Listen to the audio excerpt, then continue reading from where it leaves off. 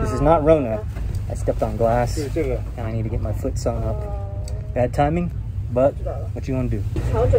Yo, our marketing team said that uh, for the new single, I should do a carpool karaoke. They said make sure the lighting is good, And make sure it's an interesting shot.